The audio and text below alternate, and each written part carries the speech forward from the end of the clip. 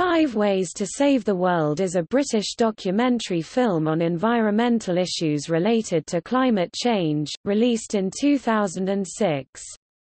The film was made by Karen O'Connor, for the big screen and was shot in the English language to reach an international audience. It includes interviews with five environmental scientists and experts including Paul Crutzen, James Roger Angel, John Latham, Ian Jones, and Klaus Lackner. The five ways proposed are geoengineering techniques, space lenses in orbit, to diffract sunlight away from the Earth, cloud seeding with seawater to increase albedo, Sulfur launched into the stratosphere to increase albedo. Ocean fertilization with iron or urea nitrogen fertilizer.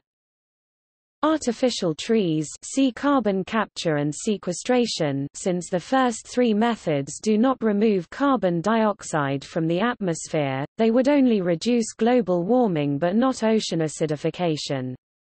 Since the last two methods would remove carbon dioxide, they could in theory reduce both global warming and ocean acidification.